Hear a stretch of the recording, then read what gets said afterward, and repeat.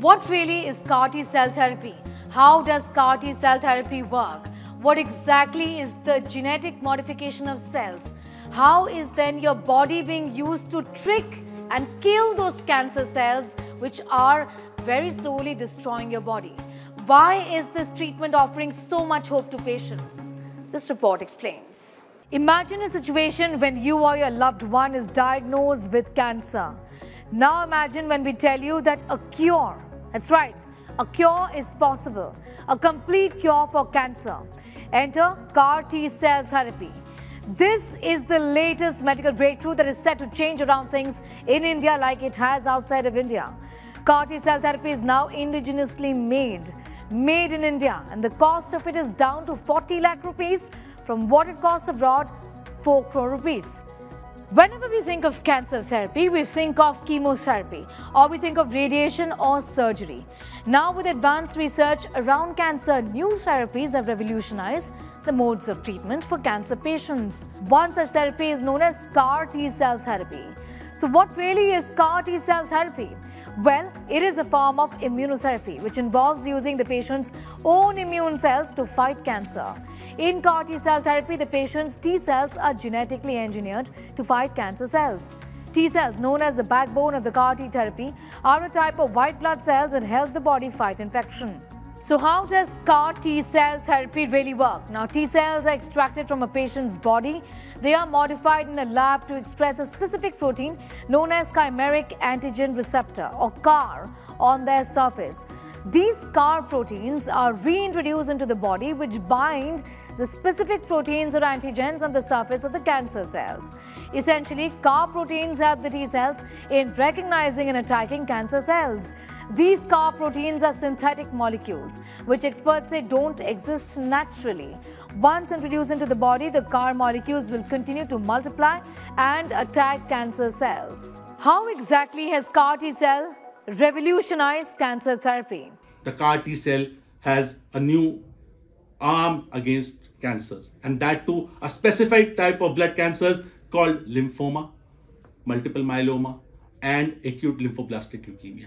There have been fewer effective treatments for patients whose cancers return or relapse after chemotherapy or a stem cell transplant. In 2017, however, US's Food and Drug Administration approved the first CAR T cell therapy for children afflicted with acute lymphoblastic leukemia. In subsequent trials in children treated with CAR therapy, over 60% of the children had survived five years after the therapy without their cancer relapsing.